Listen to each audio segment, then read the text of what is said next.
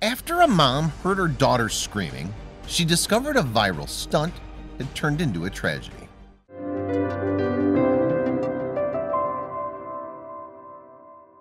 Brandy Owens' daughter was filming a viral challenge when her mom heard screams.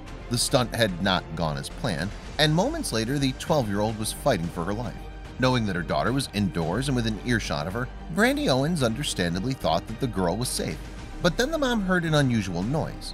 Before long, she realized that her daughter was trying out a social media challenge, but it was one that had gone terribly wrong. Owens hails from the Nigerian capital, Lagos, and now lives in Detroit, Michigan. According to her Facebook page, she owns a company called BBG Bundles and also works for Dream Team Tax Pros LLC. She has a 12-year-old daughter named Timaya Landers who has three sisters and a brother. One day in August, the mom was tucked up in bed with her fiance at home when something horrifying happened. Her daughter was in another part of the house when Owen suddenly heard a worrying sound. Then she saw Tamia, and her worst fears became a reality. I heard a big pop, Owens recalled during an interview with Inside Edition in August 2018. So when I heard the pop, I asked my fiance, what's that? I said, did you hear that? The next thing I knew, Tamia started running down my hallway in flames. Owens revealed that her daughter ran past her bedroom to the nearby bathroom, all the while screaming for help.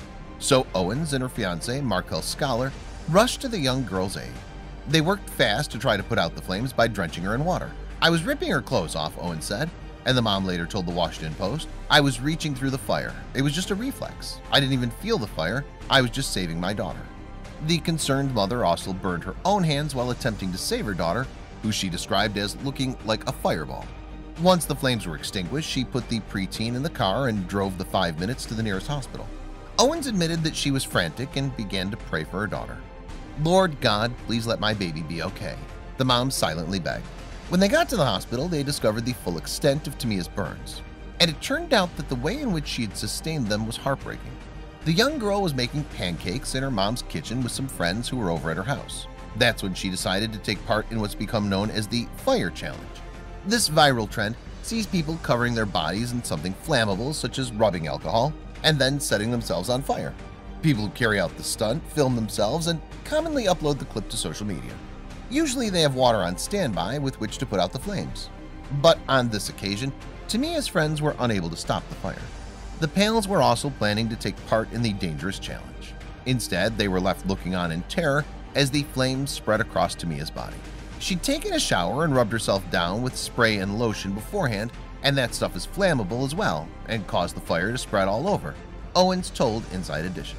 Though extremely hazardous, the fire challenge is not a new viral trend.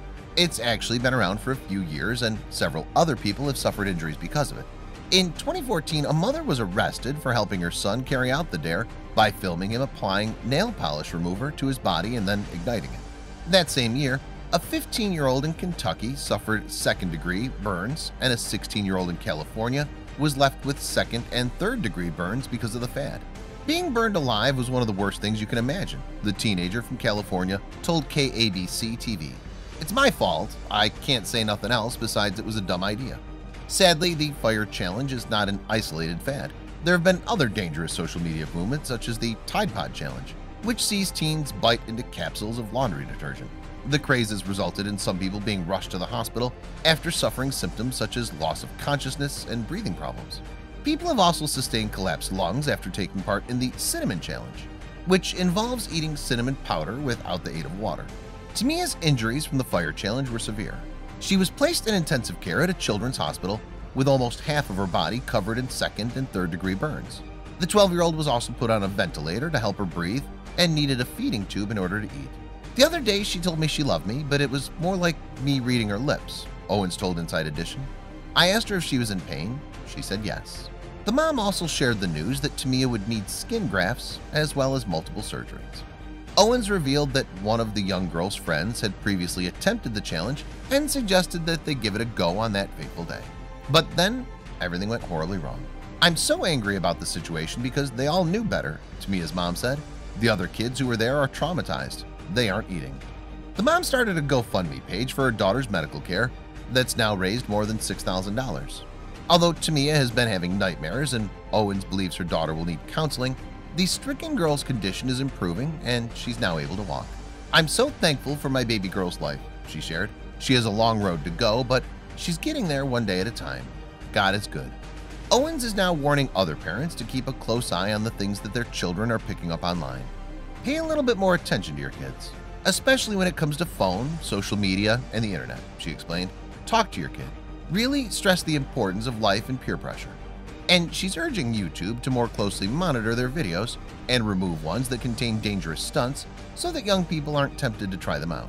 If we weren't home, she'd have died, Owens told the Washington Post. Those kids wouldn't have known what to do, but to sit there and let her burn. It would have been pretty much over for her.